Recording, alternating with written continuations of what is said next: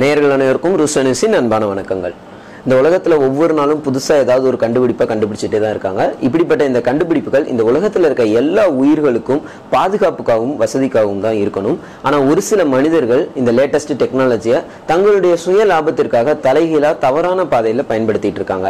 என்னைக்கு நம்ம மொபைல் ஃபோனில் இன்டர்நெட் யூஸ் பண்ண ஆரம்பிச்சோமோ அதுவும் சீப்பான ரேட்டில் யூஸ் பண்ண ஆரம்பிச்சோமோ அன்னைக்கே இந்த ஆன்லைன் மார்க்கெட் ஆன்லைன் ஷாப்பிங் அப்படின்றது ரொம்ப பெரிய சந்தையாயிருச்சு. நேரில் நமக்கு ஈஸியாக கிடைக்காத பொருட்கள் கூட இன்னைக்கு ஆன்லைனில் எந்த ஒரு வழிமுறையுமே இல்லாம ரொம்ப ஈஸியா கிடைக்குதுங்க. அப்படிப்பட்ட ஒரு பொருள் தான் ஸ்பை கேமரா ஹிடன் கேமரா இந்த ஹிடன் கேமரா அப்படின்றது நம்ம சாதாரணமா வழக்கமா யூஸ் பண்ணக்கூடிய pen cooling glass charger plug point three pin socket LED light Bluetooth car key shirt button அப்படின்னு பல வடிவங்களில் கண்ணுக்கே தெரியாத அளவுக்கு ரொம்ப ஈஸியாக அதோட சைஸ் மற்றும் அதோட டெக்னாலஜி வைஃபை ப்ளூடூத் போன்ற இல்லை வயர் டெக்னாலஜி இதை வச்சு அதோட ரேட் வந்து வெறும் ஐநூறுரூவாயிலிருந்து ஐயாயிரம் பத்தாயிரக்கும் கூட இந்த கேமரா வந்து கிடச்சிட்ருக்கு அதுவும் அமேசான் ஃப்ளிப்கார்ட் இபே ஸ்னாப்டீல் போன்ற ரொம்ப பிரபலமான இந்த ஆன்லைன் ஷாப்பிங் மார்க்கெட்ல கிடைச்சிட்டு இருக்கு இப்படி ஈஸியா கிடைக்கிற இந்த ஹிடன் கேமராவை தன்னுடைய ஆசைக்காக தவறா பயன்படுத்தி இன்னைக்கு ஒருத்தர் ஜெயில கைதாகி இருக்காரு. பேர் சஞ்சீவ் வயது நாற்பத்தெட்டு சென்னை அஸ்தினாபுரத்தில் வசிக்கும் இவர். கடந்த சில மாதங்களுக்கு முன்னாடி ஆதம்பாக்கம் அப்படின்ற இடத்துல ஒரு குடியிருப்பை வந்து வாடகைக்கு எடுத்திருக்காரு. அந்த குடியிருப்புல அவர் தங்காததுனால அந்த குடியிருப்பை வந்து பெண்கள் விடுதியா மாத்தி ஆன்லைன்ல வந்து விளம்பரம் கொடுத்திருக்காரு. அதை பார்த்து ஐடி துறையில வேலை பார்க்கக்கூடிய சில பெண்கள் அந்த ஹாஸ்டல்ல தங்கியிருக்காங்க கடந்த சில மாதங்களா. அதுல ஒரு பெண் தான் குளிச்சுட்டு வரும்போது தன்னுடைய ஹேர் ட்ரையரை பயன்படுத்துறதுக்காக ஒரு பிளக்கின்ல வந்து தன்னுடைய த்ரீ பின் சாக்கெட்டை வந்து மாட்டியிருக்காங்க.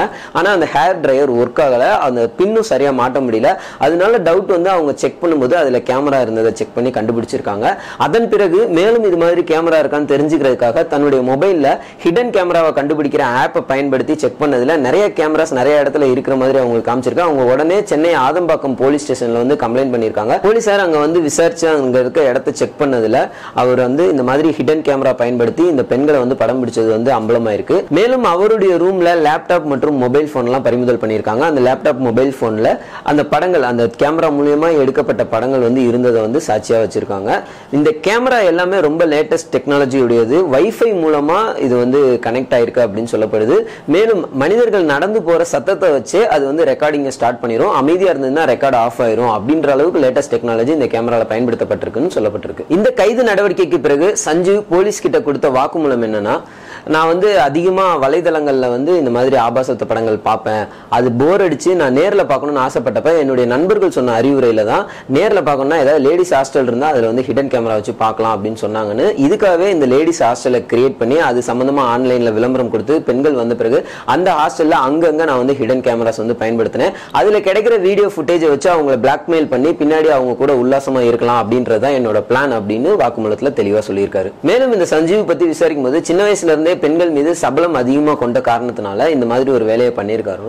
அவர் வந்து அடிக்கடி அந்த ஹாஸ்டல்ல போய் ஏதாவது ரெனோவேஷன் ஒர்க் அப்படின்னு சொல்லிட்டு ஏதாவது ஒன்று பண்ணிகிட்டே இருக்காதுன்றத சொல்லியிருக்காங்க.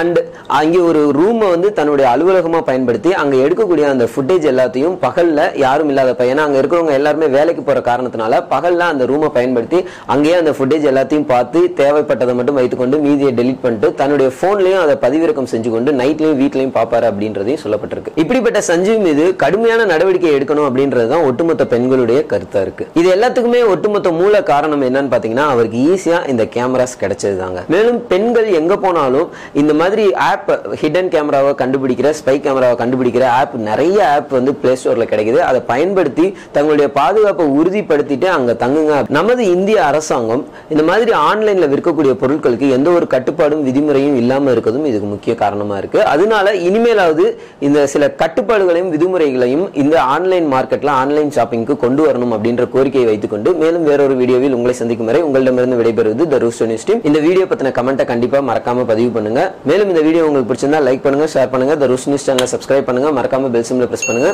நன்றி வணக்கம்.